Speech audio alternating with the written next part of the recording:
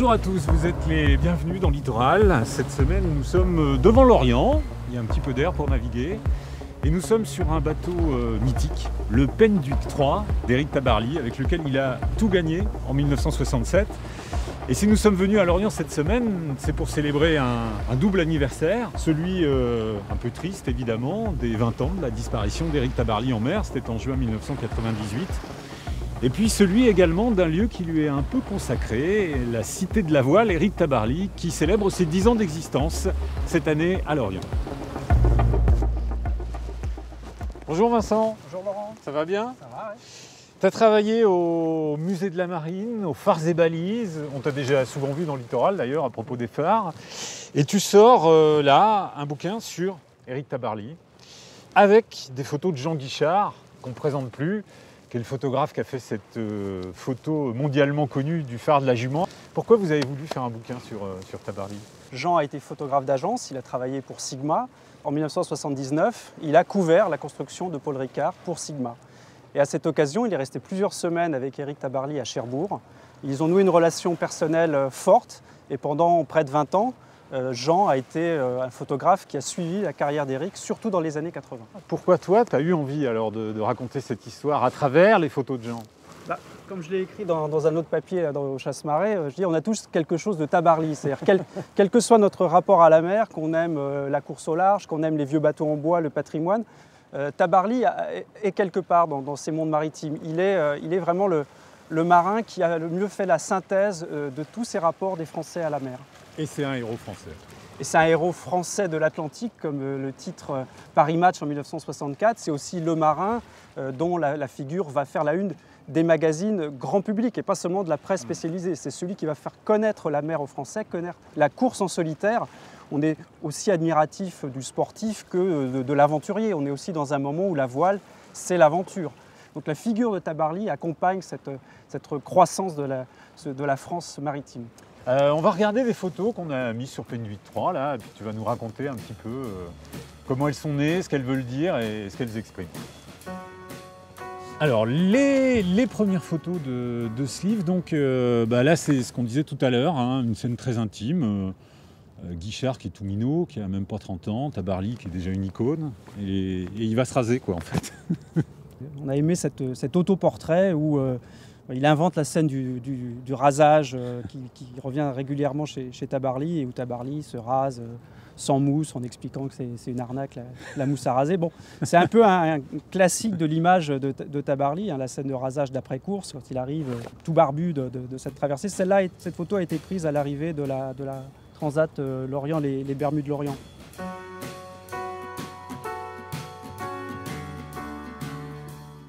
Voilà, là on retrouve, euh, on retrouve Eric Tabarly avec euh, deux photos euh, assez différentes en fait. hein. Oui, euh, Là, très physique là. Bah, Celle-là, on a l'impression que c'est une figure de proue. hein. Jean a été frappé, comme tout, tout le monde, par le caractère extrêmement physique hein, de- d'Éric Tabarly. Il y a beaucoup de photos, on le voit manœuvrer.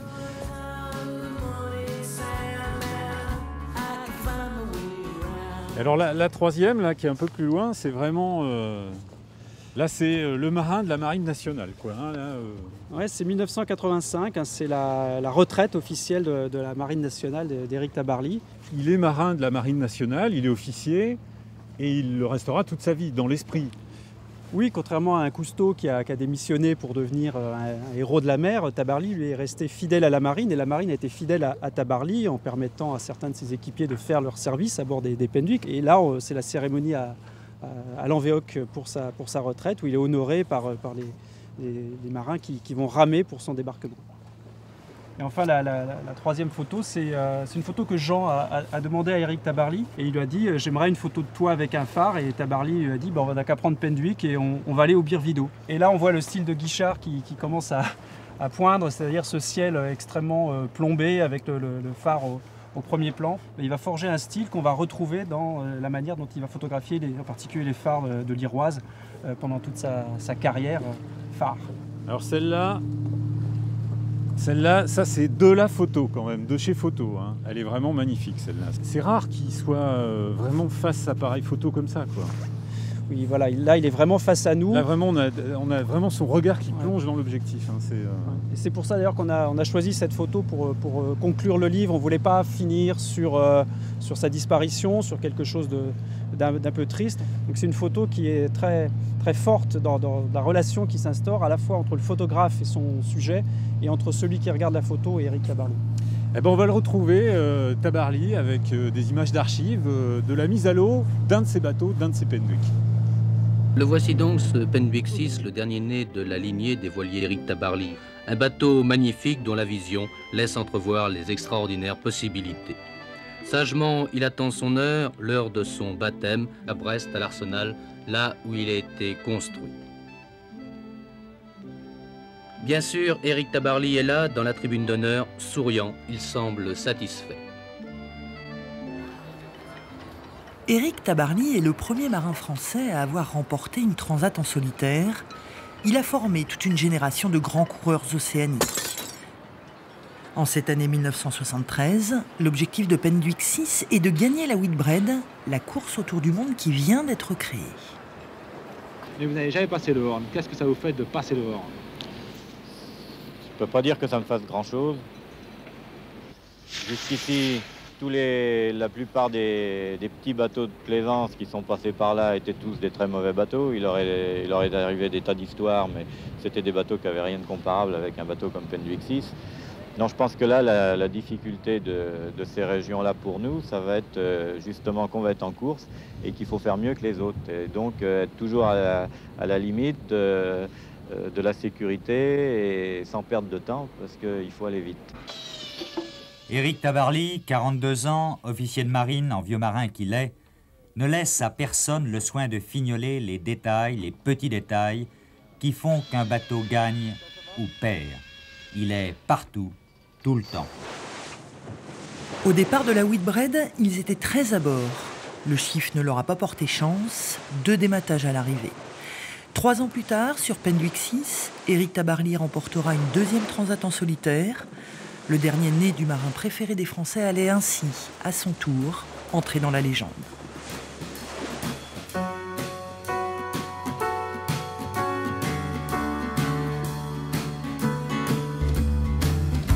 Pour Eric, pas de musée ni de cathédrale, mais une cité de la voile qui porte son nom.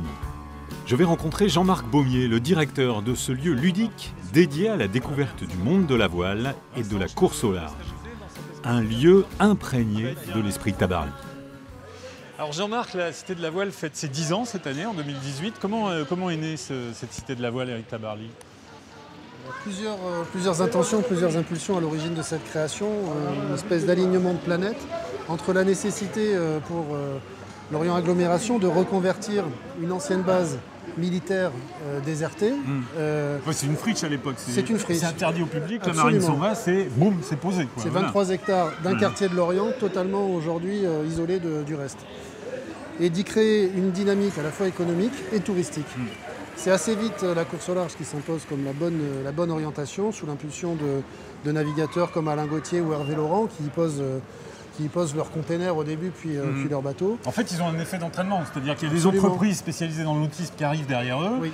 Et comme il y a des entreprises, et déjà Alain Gauthier, Hervé Laurent, d'autres skippers viennent, et ça fait boule de neige. Quoi. C'est ça. Et à, cette, euh, à ce développement économique qui a abouti en 15 ans en l'un des pôles euh, avec une technologie, un savoir-faire R&D jusqu'à la navigation les plus euh, homogènes et, euh, et cohérents de, de la, de la Mm. planète, c'est doublé euh, la volonté de- de- de- d'en faire un, pôle d'attractivité touristique autour d'un équipement euh, sur le sujet, donc la Cité de la Voile Éric Tabarly, mais d'autres qui font qu'aujourd'hui, plus de 200, 000 200 à 250 000 personnes euh, y viennent tous les ans.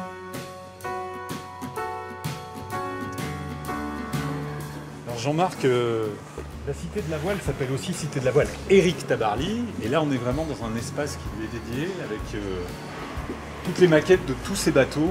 On se rend compte quand on les regarde à quel point il a été novateur. C'était un, véritable architecte naval qui a inventé plein de choses qu'on retrouve encore sur les bateaux de course aujourd'hui. Ne serait-ce que les foils, tiens, sur Paul Ricard par exemple. Absolument. C'était le premier bateau euh, réellement à être euh, équipé. En fait, on voit qu'il a, une véritable recherche. Ça a été au-delà du grand marin qu'on connaît tous, ça a été un précurseur sur un bon nombre d'éléments. Et ces éléments qui ont été développés, dessinés sur ces bateaux, on en retrouve encore pour la plupart sur les, les bateaux de course d'aujourd'hui. On passe euh, devant le Penduic 2, donc le premier qui, euh, sur lequel il a été euh, réellement médiatisé en gagnant la, la Transat en 1964. Ça, c'est le Penduic 3 sur le lequel on était 3. tout à l'heure avec Vincent et qui est, aussi un bateau extrêmement novateur. Au-delà d'être magnifique, c'est une goélette splendide. Euh, c'est le bateau qui a tout gagné. Et effectivement, on retrouve. C'est le premier bateau en alliage d'aluminium. Donc euh, là, on a gagné encore en, légèreté et on est loin des matériaux euh, de, de carbone d'aujourd'hui. Et donc, euh, ce bateau a permis d'arriver sur la Transpac euh, 11 jours avant le deuxième. Alors, euh, c'est un, nom dans la voile, dans la construction navale, Eric Tabarly. Euh, je vais vous faire découvrir maintenant quelqu'un qui, euh, alors sur des bateaux beaucoup plus petits, des petits bateaux de travail qu'on retrouve très souvent à la semaine du golfe, dans le golfe du Morbihan, tous les deux ans. Quelqu'un qui construit ces bateaux-là, qui est un vrai passionné aussi, et qui s'appelle François Vivier.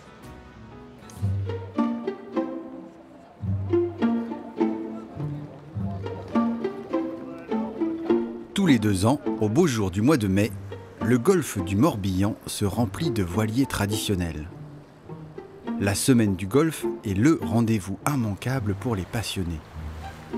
Il paraît que certains construisent leurs bateaux eux-mêmes en kit, sur les plans d'un architecte naval connu comme le loup blanc dans ce milieu, François Vivier.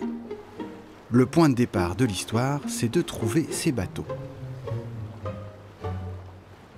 Bonjour Est-ce que votre bateau c'est un plan vivier Non du tout. Ah, on cherche les plans vivier. J'ai pas ça en stock. Désolé.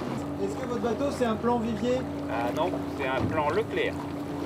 Bonjour Est-ce que votre bateau c'est un plan vivier Oui, c'est un Ilure. Ah, il faut qu'on vous retrouve alors Ah. Votre bateau c'est un plan vivier Oui, C'est vrai c'est un Béniguet, il y en a un autre là. Est-ce qu'il y a beaucoup de bateaux de plan vivier là aujourd'hui Oh, il y en a, je sais pas, 12 483. Il y a plein d'Ilures, il y a plein de canaux euh, aviron. Non, non, mais je sais pas combien il y en a. euh. Eh bien nous, on sait. Sur la liste des inscrits maritimes, 140 bateaux ont été dessinés par François Vivier, dont la plupart dans cette flottille, les petits voiles avirons. Au milieu de la multitude, un passionné a les yeux grands ouverts. Ah, il est joli là, celui-là. Voilà, un Ilure. Ah, là-bas, c'est un ukulele aussi, tiens. C'est François Vivier lui-même, venu à la rencontre de ses créations.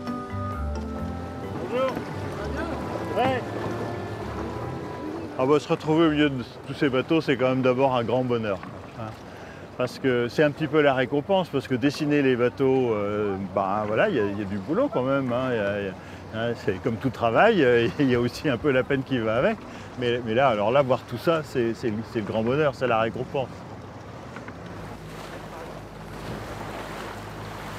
Aven, Ilure, Ukulili, Doris, tous ces noms sont devenus des classiques de la construction amateur. En parallèle d'une carrière dans l'industrie navale, François Vivier les a créés un par un depuis une trentaine d'années. Alors comment conçoit-on à notre époque un bateau de tradition? C'est des inspirations de, petits bateaux traditionnels tels qu'ils existaient en Bretagne. hein. je pense par exemple à, à ceux-ci qui sont qu'on appelait des miséniers. En Bretagne, les, conditions de mer sont quand même un peu musclées. C'est quand même toujours des bateaux un peu lourds. hein. Et c'est d'ailleurs la raison pour laquelle on est allé chercher un peu d'autres euh, formes euh, d'inspiration, notamment les bateaux nordiques. En Norvège, il y avait des petits bateaux qui servaient à traverser le fjord. hein. Donc c'est des bateaux qui sont souvent utilisés beaucoup, beaucoup à l'aviron, un petit peu à la voile. Autre source d'inspiration, c'est beaucoup de bateaux américains aussi. Hein, parce qu'aux États-Unis, il y a beaucoup d'eau abritée, de lacs, euh, de- de- d'estuaires assez larges. Je pense à ce qu'on appelle les Swampscott Dory, qui sont des bateaux assez simples euh, à construire. On peut dire que tous mes bateaux sont, sont quand même toujours un petit peu liés à, une de ces traditions. Faire du traditionnel et le faire soi-même. C'est l'autre grande idée de cet architecte naval hors norme. Une idée qui au départ était loin d'être évidente. Voilà un exemple de petit bateau voile aviron. C'est un Aber. C'est mon premier plan de voile aviron destiné à la construction amateur. C'était en soi une idée nouvelle à l'époque. hein. Ça ne résulte pas d'une réflexion euh, marketing pour savoir s'il y avait une demande pour ça, mais en tout cas, euh, en tout cas, j'ai eu envie de le faire. On l'a fait et puis euh, ça a marché parce que des plans euh, d'Aber, il s'en est quand même vendu quelque chose comme 500. euh, plus d'un millier maintenant. Ça fait quand même des centaines et des centaines de bateaux de ce genre euh, qui naviguent. Des bateaux qui naviguent à construire soi-même, François en a créé toute une panoplie. Des bateaux de tradition, mais qui utilisent la construction moderne. La recette? Un usage massif du contreplaqué, de la résine époxy en abondance et de la modélisation 3D. Du dessin à la réalité, au chantier grand largue, on prépare les kits pour les autoconstructeurs et on fait aussi de la construction clé en main. Pierre-Yves de la Rivière, le gérant de cette petite entreprise, Voilà. est tombé sous le charme des plans viviers. Très bien, ouais. On a fait la, la contre-étrave là. Assez content de Ouais, même les coller. D'accord, la fausse étrave, vois, ouais. ouais. Ouais. Donc là qui va arriver, alors, ouais. Ouais, qui va arriver ici, mais. euh, François Ouais. Vivier, c'est quelqu'un qui a une culture maritime, euh, j'ai envie de dire, abyssale. Ses plans sont, sont nourris euh, euh, de toute cette culture et euh, il n'y a jamais de faute de goût. Et, et par-dessus par -dessus le marché, j'ai envie de dire, c'est un très très bon technicien également, donc c'est des bateaux qui marchent très bien. Donc voilà, à chaque fois que je fais un bateau neuf sur les plans de François, c'est un bateau qui marche et qui est beau. Et moi, c'est ça qui m'intéresse avec lui. Le fait d'être euh, en dehors de la mode, ça fait des bateaux qui sont aussi, euh, j'allais dire, éternels un petit peu dans l'image. Euh, c'est des bateaux qui dureront toujours et c'est aussi très cohérent avec la technique de fabrication qu'on choisit, parce que c'est des bateaux qui vont durer euh, 50 ans ou plus très facilement. C'est pas l'usine, mais ça s'en rapproche.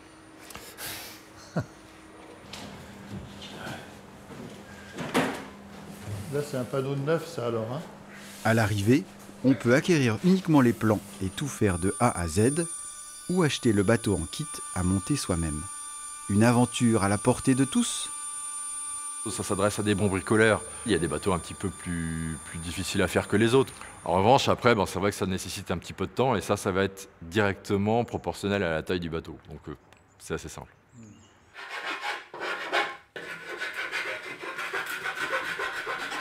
Alors, qui est partant pour l'aventure? Christopher et Béatrice ont franchi le pas et viennent de recevoir le kit complet. Oui. Alors, t'en es où? Bon, ce petit morceau, vous en avez trouvé là D'accord. Voilà. C'est comme ça que du jour au lendemain, on se retrouve avec un bateau dans son salon. Oui, oui, ça c'est le dernier panneau. On n'avait pas d'autre endroit pour le mettre. Euh, bah, quand on a démarré cette, euh, ce projet de bateau, c'est, euh, on a pris un bateau qui, a des- qui avait des dimensions très raisonnables aussi. Nous, c'est notre projet, donc le- on est prêt à avoir un petit peu d'inconfort Mm. pendant quelques semaines. C'est pas, c'est pas grave du tout. Ça fait partie du fun. Mm. c'est, je trouve ça excellent. Enfin, c'est, Ah, c'est une situation temporaire. c'est temporaire. Mm. Oui, oui, c'est bien sûr temporaire. Doublante axiale sous banc. D'accord, je l'ai. L'ai. C'est c'est ici. ça. Ouais, ouais, ouais. I have come to admire François Vivier's work. J'admire beaucoup les réalisations de François Vivier. Tout est très bien pensé. Ça implique un travail vraiment fantastique. C'est pas très compliqué, c'est pas très cher. Ça donne un magnifique projet à réaliser. Et c'est vraiment très bien pour un couple de faire ça ensemble. Ah, bravo. C'est la doublante, c'est ça? Uh, there is a phrase in English, hats off. Levez les, chapeaux. Hats off to François Villiers. Chapeau bas donc, et bon courage à Christopher et Béatrice. Dans cette histoire d'autoconstruction, chacun avance à son rythme. Découpe, collage, serrage. Chez Bernard, dans le garage, un bateau est en train de naître. C'est facile de construire un bateau selon les plans de François Vivier? Oui, oui, oui, ils sont bien, bien détaillés. Enfin, pour l'instant, j'ai pas de problème. Peut-être que au fur et à mesure, les problèmes vont se présenter, mais enfin, pour l'instant, non, ça va. Vous savez pour combien de temps vous vous embarquez là? Oh, euh, un certain temps.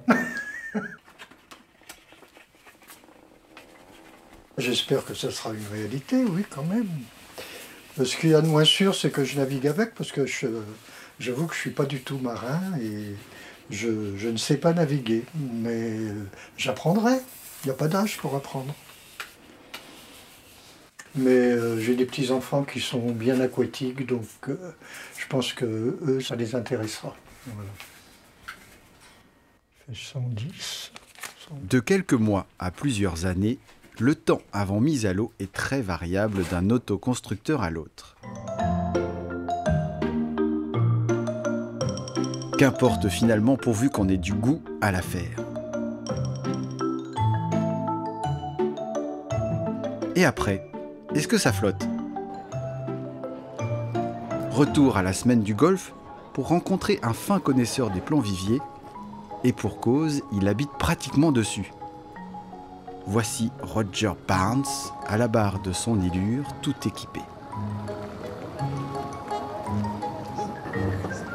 Mais ici, nous avons une tente sur le pendant la nuit. Tente.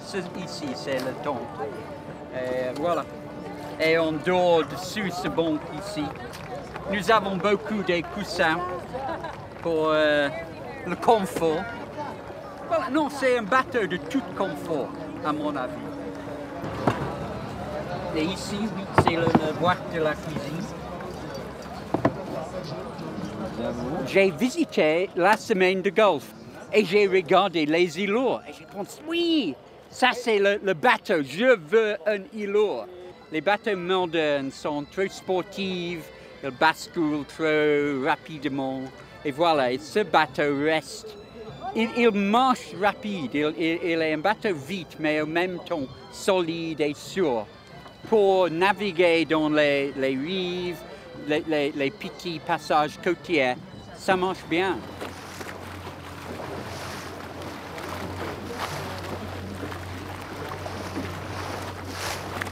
Et, mais je pense qu'il est bizarre pour, pour François parce qu'il visite les fêtes maritimes et il voit tout l'horizon, beaucoup, beaucoup des voiles, des bateaux désignés par François Vivier. C'est juste bizarre. Bizarre, François Vivier? Traditionnel, assurément, tant son nom est désormais associé à cette pratique de la voile. Mon goût pour la voile traditionnelle, je pense qu'il vient quand même de choses qui rejoignent peut-être mon éthique personnelle, mais qui est que bah, le sens de l'effort, le sens du beau, le sens euh, du, travail bien fait, que tout ça, j'ai l'impression que ça commençait à se perdre avec le début de l'industrialisation de la plaisance. Que sera la semaine du golf dans 20 ans? Euh, Très franchement, moi je l'ignore vraiment totalement. Hein. Est-ce que le mouvement va continuer à s'étendre ou bien, voilà, ou bien est-ce que finalement euh, la plaisance, euh, on va dire moderne, va, l'emporter? Est-ce que je ne sais pas. C'est vraiment, je, je suis incapable de prédire l'avenir en la matière. Prédire l'avenir paraît bien difficile. Ce qui est sûr en revanche, c'est ce qui a été fait. François Vivier, tout au long de sa carrière, a dessiné les plans d'une centaine de bateaux différents. Une véritable armada qui continuera pour longtemps à embellir les plans d'eau.